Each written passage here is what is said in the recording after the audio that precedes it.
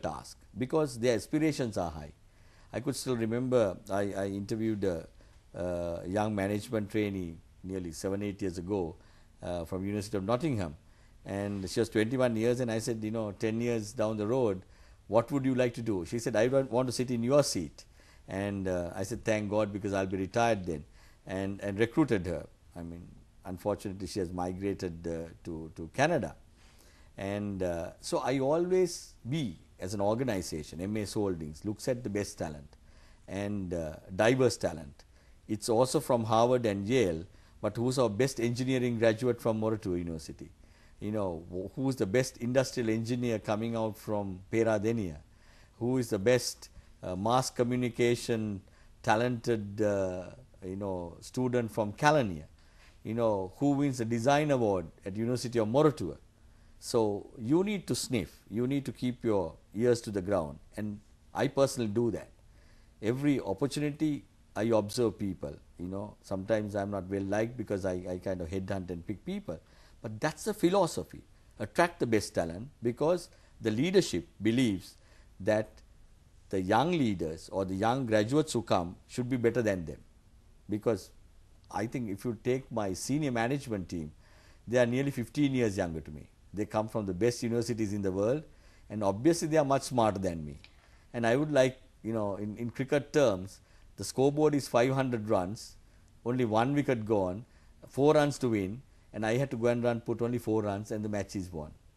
That's my philosophy. So so I think uh, this is a way, uh, uh, winning, a part of the winning mindset as well. Of course. So when it comes to mastery of uh, team building, yes. Uh, especially in uh, which we, even the small and medium enterprises yes. can also use, yes. what can you say about that, about getting the teams together?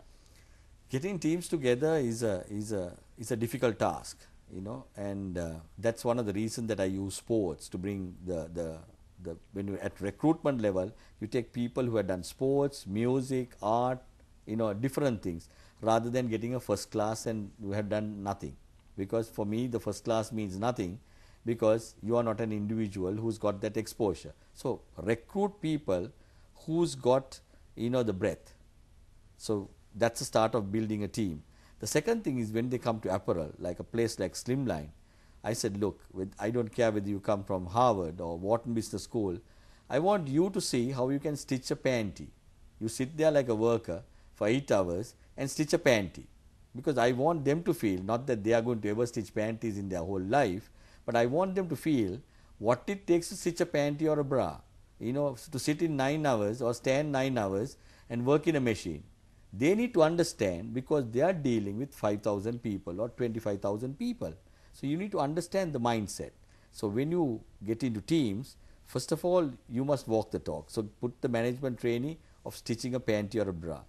The third thing I would do is send them to the jungle, you know, send them into, you know, adventure training. You know, we are not an adventure training based company, but you know, we use companies like Borderlands and, and send our senior team, you know, and, and the junior teams all together to the jungle. Now, the teams are also picked on there can be workers in your team, there can be supervisors in your team and also you can have your chief executive in the team. So, it is a mixed bag of people and first among equals you put them in the jungle, you have to share a tent and you know you have to do all these exercises for you know a couple of days and then you come back as battle trained soldiers and you build up a network of people at different levels in the organizations who's gone with you. I can still remember the guy you know who held my safety rope when I was you know 30 feet uh, high you know and when I was doing abseiling you know you know jumping from 75 feet down you know I've got a phobia for heights the guy who held my safety rope you know I'll never forget him because you know his my life was